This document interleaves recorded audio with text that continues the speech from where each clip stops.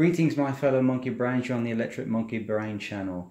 Today we're going to take a look at the enigmatic and ubiquitous Tesla coil. The Tesla coil is a very easy uh, thing to generate high voltages. Here this Tesla coil is wrapped on an old water pipe, it's uh, approximately 300 turns of copper wire and the top is attached to an old uh, tin can but you don't need anything at the top at all.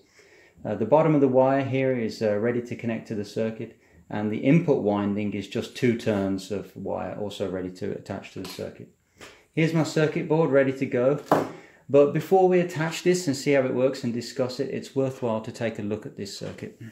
So here's our circuit we're going to be using today. Here's the actual Tesla coil itself with approximately 300 turns, the top of which is connected to the tin can or elevated capacitance. The bottom of the Tesla coil goes directly into the base of the transistor.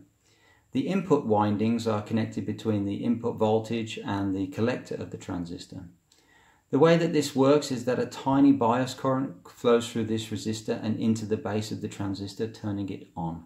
That pulls current through the primary winding, creates the magnetic field, and by induction, uh, pulls current in the Tesla coil in the opposite direction. And you can see that that will pull current out of the transistor, switching it off. Then the whole process repeats again and the circuit simply oscillates. Now the beauty of this circuit is that because the base of the, the bottom of the Tesla coil is, direct, is connected directly to the base of the transistor, the transistor will always switch on and off directly at the resonant frequency of the Tesla coil. In other words, this circuit is, a, is an auto-tuning circuit, so it'll always run at the resonant frequency of the Tesla coil. Now these components down here uh, these Zener diodes are chosen to limit the voltage at the base here of the uh, transistor to protect the transistor. And the neon bulb, which switches on at a particular voltage in series with this resistor, are here, chosen here to limit the voltage at the collector of the transistor in order to protect it. So if you was to make this circuit yourself, you need to choose the value of the neon bulb resistor and Zener diodes based on the limits of the transistor that you're using in order to protect it. And here we just have a, a capacitor to smooth the input voltage here. So let's put this together and see it in action.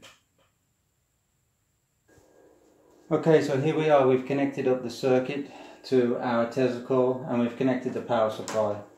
I've set the power supply to about 24 volts because I know how this system works, but if you're going to do this self, this yourself, you should always start from, from a lower voltage for, for safety.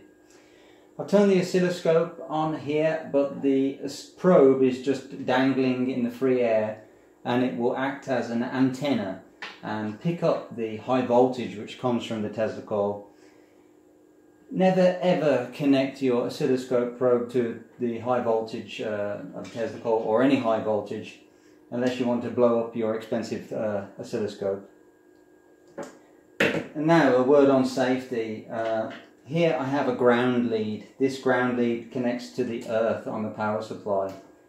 Um, you have to be aware that when you're dealing with high voltage, if you don't use a ground wire, then you are the ground wire, right?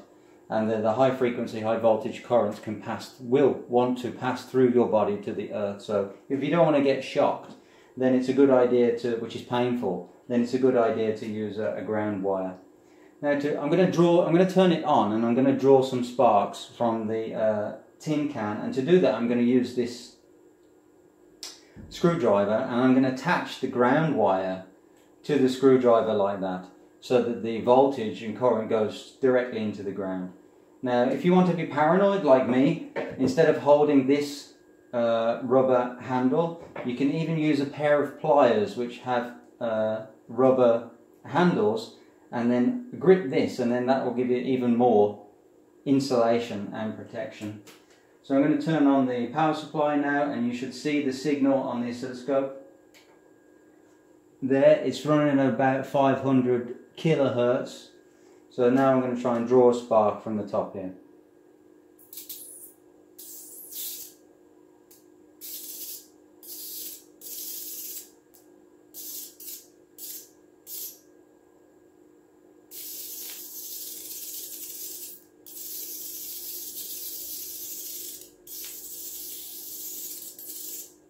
Okay, so we get decent sparks for just the small amount of power here. It's less than, it's about 10 watts or something. But look at the uh, signal on the oscilloscope probe when I draw the sparks from here.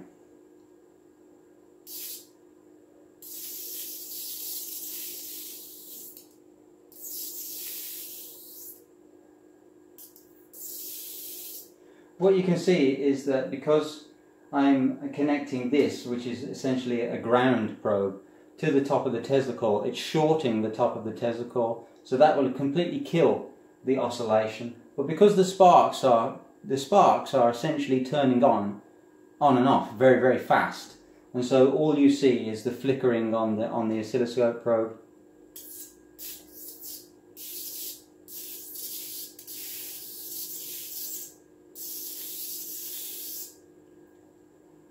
So now I'm just going to zoom in to the uh, tin can so we can try to see those sparks more easily.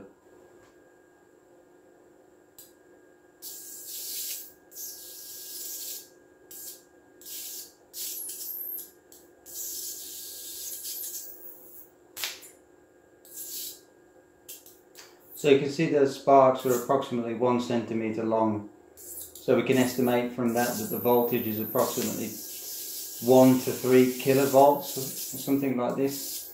It's not possible to really measure the voltage because it's dangerous and it will destroy your measurement equipment.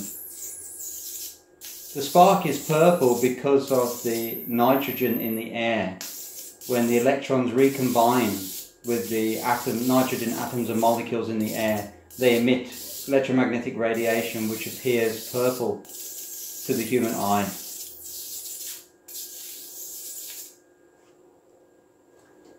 Okay, so I mentioned before that this Tesla coil is a, a resonator. Actually, it's a resonant transformer, meaning it performs the action of transformation, uh, but it does so in a resonant way. Actually, it has no uh, ferrite or iron inside here at all. It's simply an empty pipe. So you might ask yourself, how can a transformer operate if it has no iron inside it or ferrite inside it? And the answer is resonance.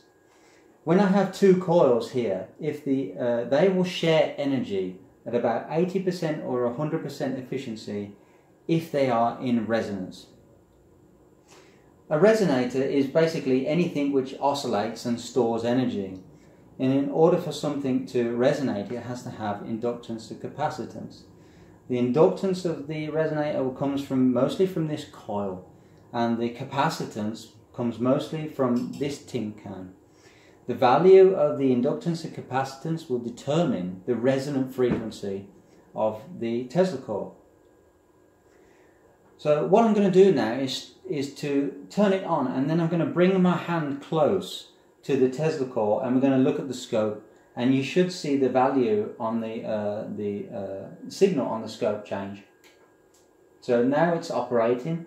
So I'm going to bring my hand close and you can see that the amplitude, maybe you can also see the frequency of the oscillation is changing as I bring my hand uh, close and move it away. Now that is because my body is, when I bring my hand close, my body is acting as a path for the uh, waves, the current, to the earth. Now my body is not a very good conductor, right, compared to metal or copper. And so when I put my hand close, that is why the amplitude goes down just a little bit. I'm not sure if you can see, but when I put my hand close, my body becomes part of the resonance circuit. And because my body is a bad conductor, the amplitude goes down. Now the frequency also changes. I'm not sure if you can see that, but uh, I can tell you, I can just read it off here. It says 550, now it says 549 kilohertz. So if I bring my hand close, now it says 535 kilohertz, 533, 32 kilohertz. Okay. Now it's gone back to 550 kilohertz. Because I'm, when I bring my hand close, my body is acting as a capacitor. And when you add capacitance to the resonator, the resonant frequency goes down. Now, uh, to to, to see why this is happening and to discuss this and understand this, we need to draw a diagram. So that's what I'm going to do next. Okay, so we tried to show before the effect of capacitance on the Tesla coil and here I've drawn a diagram to show what's happening. Here's my Tesla coil and here's the elevated capacitance and I've drawn all of the electric field lines which would be emanating from something which is charged to a high voltage. And you can see the electric field lines spread out all over the room and end in surfaces, on surfaces like the table. But something important about Tesla coils is the interaction with the air because in the air there are molecules and atoms and when we apply a very strong electric field to those atoms they become polarized. Polarization means that we're literally pulling and pushing the negative and positively charged parts of the atoms or molecules together and apart. We're pulling them and pushing them apart. Now, the little atoms and molecules, they actually act like a capacitor where one plate is negatively charged and the other plate is positively charged. So the atoms and molecules in the air act like tiny capacitors storing electrical energy. Billions of them. Now, you can see here that if I was to remove this elevated capacitance and simply have a wire dangling here, that all of these electric field lines would simply disappear or change their shape and most of the electric field lines would be emanating from the Tesla coil. In effect, I will have changed or decreased the amount of volume of the air through which all of these electric field lines pass, decreasing it. And therefore, I would have decreased the capacitance contribution from the atoms and surfaces created by the electric field lines that will decrease the capacitance of the resonator. And when we decrease the capacitance of our resonator, the resonant frequency will go up. On the other hand, if I was to take this uh, capacitance and make it huge, like putting a big metal sphere here, like you see some people do, then all of these electric field lines would spread out and spew even more all the way around the room and ending not only on the table surface but on the wall and the ground and your body and your computer screen and your mobile phone. And in effect, the volume through which these electric fields pass will have increased and therefore they will interact with more air molecules and end up on more surfaces and therefore the effective capacitance which these electric field lines create would have increased. And when we increase the capacitance of our resonator, the resonant frequency will go down. So that is the effect of the ele elevated capacitance and how it affects the air. The air is a very, very, very important part of the Tesla coil and is most of the time overlooked. There's many, many more things I could talk about with the Tesla coil, but this video is too long, so I'll leave it to other videos. If you like this video and you like to help the channel, you can do so using the links below. That's it. Thanks a lot.